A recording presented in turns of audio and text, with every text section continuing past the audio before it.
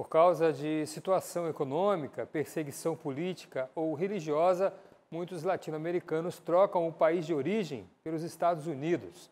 Na bagagem, o sonho de mais dignidade, mesmo com os riscos de se tornar um migrante.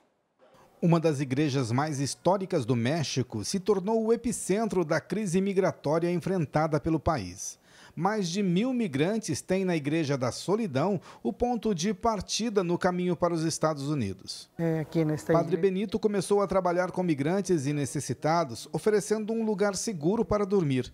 As famílias são acolhidas na igreja, recebem uma refeição e um lugar para descansar. No pátio da igreja há uma cidade de tendas com cerca de mil moradores. Hemos chegado a hospedar hasta 1.300 o padre disse que chega a acolher 1.300 migrantes. Os números variam. Muitos dormem no chão da igreja, em frente ao altar. Aqui vivimos uma só família. Kennedy é da Venezuela e diz que todos ali formam uma família e lutam juntos. Haitianos, colombianos, chineses, japoneses. E disse que, como família, às vezes as pessoas brigam.